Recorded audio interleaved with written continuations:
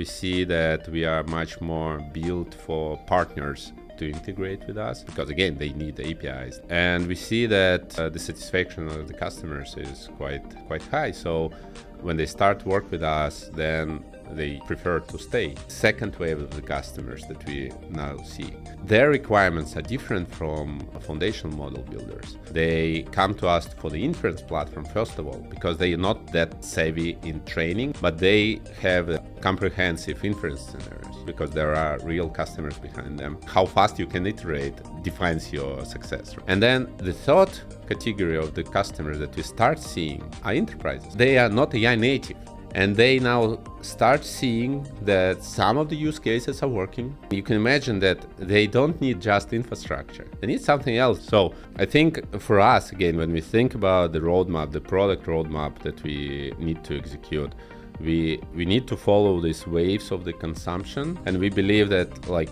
the ultimate goal is to be ai native cloud coming from the ground up from understanding of each layer of this ai infrastructure and serving those enterprises at the end of the day. And we're still in such early days, we still see like first percents of the companies apply AI on scale to the first percents of their use cases. So it will grow like, I don't know, tens, hundreds times. And the winners of the product, the AI native product development, they will also become the enterprises. Because again, their customers will be the enterprise.